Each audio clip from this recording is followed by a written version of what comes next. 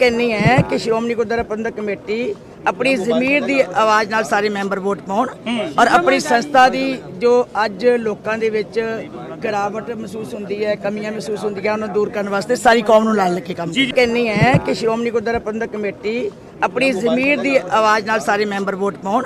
ਔਰ ਆਪਣੀ ਸੰਸਥਾ ਦੀ ਜੋ ਅੱਜ ਲੋਕਾਂ ਦੇ ਵਿੱਚ ਗਿਰਾਵਟ ਮਹਿਸੂਸ ਹੁੰਦੀ ਹੈ, ਕਮੀਆਂ ਮਹਿਸੂਸ ਹੁੰਦੀਆਂ, ਉਹਨਾਂ ਦੂਰ ਕਰਨ ਵਾਸਤੇ ਸਾਰੀ ਕੌਮ ਨੂੰ ਨਾਲ ਲੈ ਕੇ ਕੰਮ ਕਹਿੰਨੀ ਹੈ ਕਿ ਸ਼੍ਰੋਮਣੀ ਗੁਰਦੁਆਰਾ ਪ੍ਰਬੰਧਕ ਕਮੇਟੀ ਆਪਣੀ ਜ਼ਮੀਰ ਦੀ ਆਵਾਜ਼ ਨਾਲ ਸਾਰੇ ਮੈਂਬਰ ਵੋਟ ਪਾਉਣ ਔਰ ਆਪਣੀ ਸੰਸਥਾ ਦੀ ਜੋ ਅੱਜ ਲੋਕਾਂ ਦੇ ਵਿੱਚ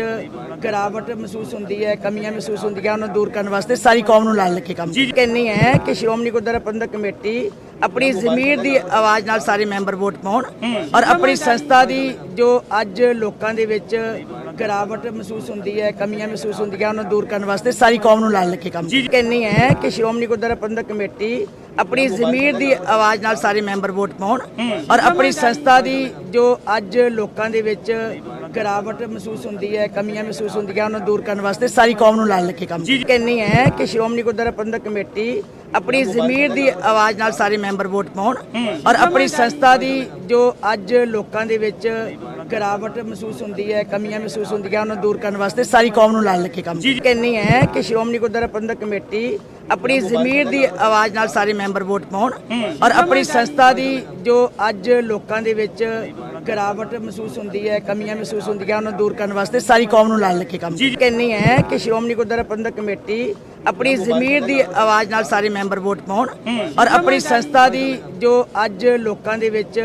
ਗਿਰਾਵਟ ਮਹਿਸੂਸ ਹੁੰਦੀ ਹੈ, ਕਮੀਆਂ ਮਹਿਸੂਸ ਹੁੰਦੀਆਂ ਉਹਨਾਂ ਨੂੰ ਦੂਰ ਕਰਨ ਵਾਸਤੇ, ਸਾਰੀ ਕੌਮ ਨੂੰ ਨਾਲ ਲੈ ਕੇ ਕੰਮ। ਕਹਿੰਨੀ ਹੈ ਕਿ ਸ਼੍ਰੋਮਣੀ ਗੁਰਦੁਆਰਾ ਪ੍ਰਬੰਧਕ ਕਮੇਟੀ ਆਪਣੀ ਜ਼ਮੀਰ ਦੀ ਆਵਾਜ਼ ਨਾਲ ਸਾਰੇ ਮੈਂਬਰ ਵੋਟ ਪਾਉਣ ਔਰ ਆਪਣੀ ਸੰਸਥਾ ਦੀ ਜੋ ਅੱਜ ਲੋਕਾਂ ਦੇ ਵਿੱਚ ਗਿਰਾਵਟ ਮਹਿਸੂਸ ਹੁੰਦੀ ਹੈ, ਕਮੀਆਂ ਮਹਿਸੂਸ ਹੁੰਦੀਆਂ ਉਹਨਾਂ ਨੂੰ ਦੂਰ ਕਰਨ ਵਾਸਤੇ ਸਾਰੀ ਕੌਮ ਨੂੰ ਨਾਲ ਲੈ ਕੇ ਕੰਮ। ਕਹਿੰਨੀ ਹੈ ਕਿ ਸ਼੍ਰੋਮਣੀ ਗੁਰਦੁਆਰਾ ਪ੍ਰਬੰਧਕ ਕਮੇਟੀ ਆਪਣੀ ਜ਼ਮੀਰ ਦੀ ਆਵਾਜ਼ ਨਾਲ ਸਾਰੇ ਮੈਂਬਰ ਵੋਟ ਪਾਉਣ ਔਰ ਆਪਣੀ ਸੰਸਥਾ ਦੀ ਜੋ ਅੱਜ ਲੋਕਾਂ ਦੇ ਵਿੱਚ ਗਿਰਾਵਟ ਮਹਿਸੂਸ ਹੁੰਦੀ ਹੈ ਕਮੀਆਂ ਮਹਿਸੂਸ ਹੁੰਦੀਆਂ ਉਹਨਾਂ ਨੂੰ ਦੂਰ ਕਰਨ ਵਾਸਤੇ ਸਾਰੀ ਕੌਮ ਨੂੰ ਨਾਲ ਲੈ ਕੇ ਕੰਮ ਕਹਿੰਨੀ ਹੈ ਕਿ ਸ਼੍ਰੋਮਣੀ ਗੁਰਦੁਆਰਾ ਪ੍ਰਬੰਧਕ ਕਮੇਟੀ ਆਪਣੀ ਜ਼ਮੀਰ ਦੀ ਆਵਾਜ਼ ਨਾਲ ਸਾਰੇ ਮੈਂਬਰ ਵੋਟ ਪਾਉਣ ਔਰ ਆਪਣੀ ਸੰਸਥਾ ਦੀ ਜੋ ਅੱਜ ਲੋਕਾਂ ਦੇ ਵਿੱਚ